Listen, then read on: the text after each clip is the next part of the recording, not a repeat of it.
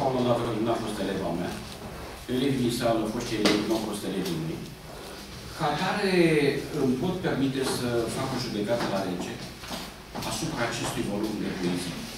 Când am citit volumul cu foarte puțin timp înainte de veni aici, când l-am primit târziu, adică l-am primit astăzi, am încercat să stabilesc, după ce am citit, o corelație între uh, chipul de pe copertă și factura psihică a structura psihică pe care o degajă poeziile de acest volum.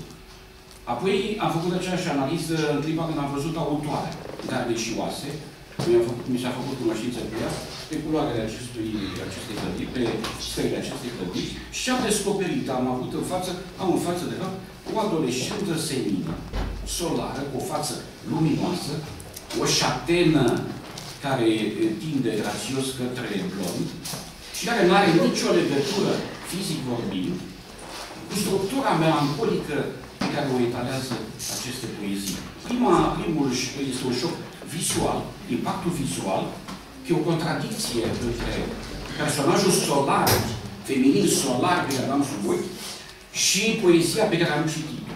Fiindcă poezia aceasta, greu încadrabilă, are o anumită factură, după cum vom vedea imediat, ceea ce mă face să cred că psihologic, fiindcă este de la psihologie, trebuie definită în alt parametri, fiindcă echipul e înșelător. Acum, sigur că se poate pune întrebarea uh, legitimă ce este poză în poezia autoarei, ce este uh, trăirea autentică. Problema aceasta, care este una insolubilă, s-a pus în legătură cu, uh, cu George Bacovia. Creația lui Bacovia a suscitat discuții extraordinare și a provocat uh, chinul multor critici care și-au pus probleme cheie. Ce este poză mimetică? La Bacovia vă traduc în termeni accesibili. Ce este poză mimetică înseamnă trăire preluată mimetic de la alții. Ce este trăirea autentică în poezia bacoviană și ce este influență. Ce e din Rolina, ce e din Baudelaire, ce e din mari simboliști în poezia lui Bacovia. Dosajul nu-l poate stabili nimeni. Revenind la Paula Lavri, nimeni nu poate stabili dosajul dintre poza poetică pe care etalează volumul ei și natura ei autentică. Împins să cred, dacă e să citesc această poezie, că de fapt uh, imaginea pe care ne oferă uh, este o imagine uh, foarte interesantă, care contrazice fondul psihic al uh, poeziilor. În esență, după opinia mea de simplu cetățean uh, și de critic, uh, Paula Lavric este o structură melancolică. Este o structură introvertită. Este o poetă care, uh, în planul romanului, are un pesimism structural dincolo de glazura strălucitoare a unui fizic uh, prescripitor, fondul psihic uh, o trădează. Rămâne de văzut acum dacă percepția mea e falsă sau autentică. Ne va dovedi viața. Fiindcă tematica, fantasmele, obsesiile acestei autoare de 20 de ani sunt următoare. Dumnezeu, temă fundamentală timpul și viața. Două teme fundamentale. Sunt temele mari poezii din totdeauna. Iubirea, difuză, distretă, filtrată printr-o sensibilitate, dar cel mai adesea, vectorul esențial este eșecul. La Paula Lavri nu putem vorbi de succes în iubire, de împlinire, ci doar de eșec. Un eșec special. Celălalt, întotdeauna este un celălalt în entității, în structura poetică. Muzica sufletului. Își ascultă muzica sufletului.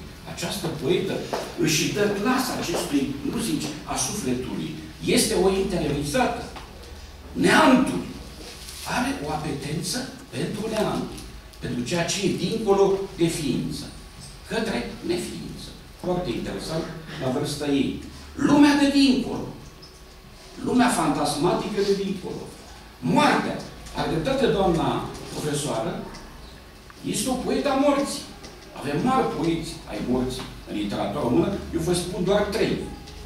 Eminescu, cel mai mare poet al morții în literatura română. Un altul extraordinar, Bacovia, și un contemporan mort în 2008, Cezar Ivănescu. Mari poeți ai morții. E bine, și Paula Lavic este o poetă sau o poetesă a morții. Melancolia, adesea tonalități bacoviene, plinul bacovian apar acolo. Nu un dezgust de viață, ci o tristețe nedefinită, provocată de viață. Nevoza, cadavrul, zborul, cadavrul bodlerian. Apare la un moment dat oitul, unul din poeme, oitul bodlerian, atii aripa marelui francez peste această poezie a influențelor și e normal ca un poet la 20 de ani să n-aducă un glas propriu. E îndatorat în chip fatal, prin uh, memorie involuntară, dacă vrei. Un poet tânăr uh, își construiește uh, influențele uh, uh, prin memorie involuntară, adică inconștient. Scrie în maniera cutăruia. Apar la poezia ei durerea, ceața, bezna, noaptea, noaptea, haosul, neantul, uh, monștrii viselor, are coșmaruri poetice. Eroina, nu știu dacă și realitate. Proiecțiile onirice, nu știu dacă sunt coșmărești. Asta rămâne de văzut. Topirea existențială, pendulările adolescenței, uh, inhibi, inhibițiile adolescenței, oscilația adolescenței, aceste pendulări existențiale între trist și vesel, între acceptare și respingere, sunt uh, tonalități detectabile în această poezie. Pentru că Afric e detașamentul născut după Revoluție, după Revoluție. După Revoluție este post-decembristă, ca vârstă, și nu poate fi încadrabilă deocamdată. Am încercat să găsesc ecouri postmoderne în această poezie, postmoderniste sau transmoderniste. Am detectat aici, colo, versuri care se pot încadra aici. De ce nu e încadrabilă Paula Latin? Estetic nu e încadrabilă pentru că încă n-a reușit să ne spună care este vocea ei lirică autentică. Deocamdată este substanța ei lirică plus influențele respective plus poza mimetică. Din acest melanj subtil și misterios trebuie să-și definească în viitor vocea lirică autentică. Vocea lirică autentică o putem detecta la volumul al doilea.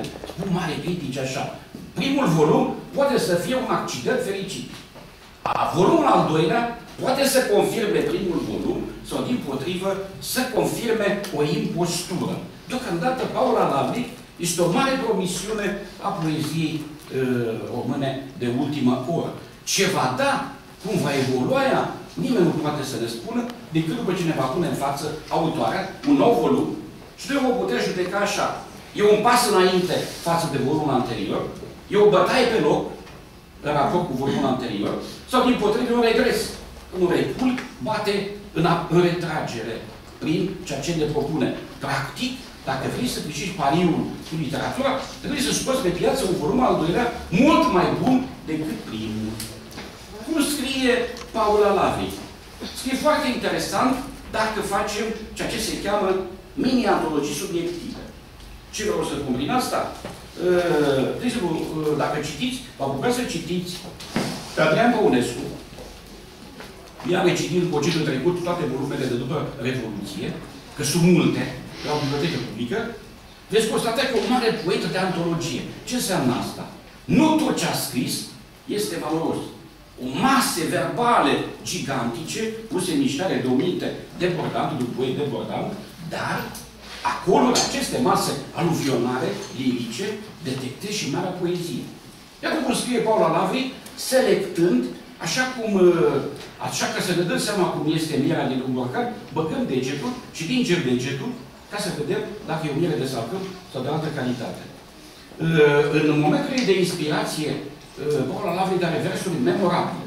Vă atrag atenția asupra lor. În fierării miroase a unghii moarte. Repet, în fierării miroase a unghii moarte. Rețineți ineditul acestei imagini. Nimeni n-a mai scris așa până acum. Unghii moarte în, în, în fiarării.